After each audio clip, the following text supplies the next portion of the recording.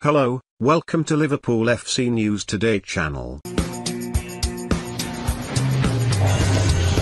Having failed to prize him away from the Signal Iduna Park over the summer, those interested in signing Jude Bellingham must agree a deal with Borussia Dortmund for him to move in the January transfer window before his value soars.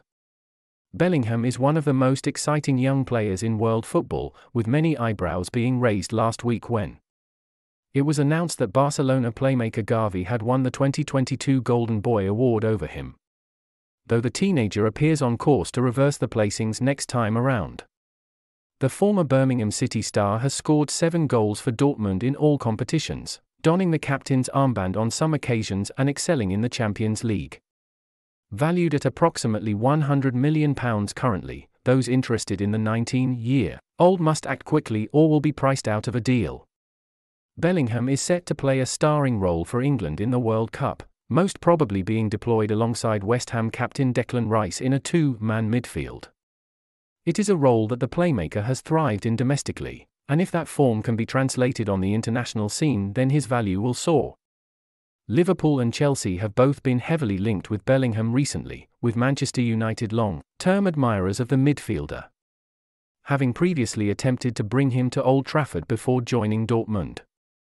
Speaking about the player's value, Fabrizio Romano told CaughtOffside, Liverpool, Chelsea, Man City, Man United, and, of course, Real Madrid really want him.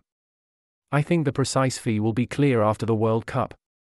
Not now. But for sure, more than 100 million euros. His value is rising, and I think it's absolutely right, Hes showing quality. Leadership, talent, Hes more than a midfielder. Exceptional performances at the World Cup have consistently seen players' value rise. And that inevitably be the case once again after the winter competition concludes. Thus, the aforementioned clubs interested in Bellingham have approximately four weeks to sound out their interest and put the foundations in place for a deal to happen.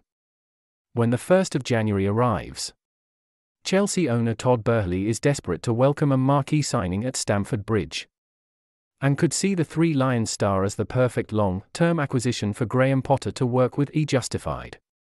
By N'Golo Kante and Jorginho's contracts expiring at the end of the season.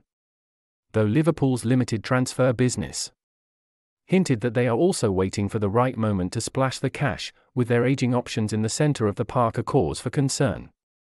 Bellingham will, of course, have his preferences, and his willingness to head to the Bundesliga over United would certainly suggest that he is not destined for a Premier League move.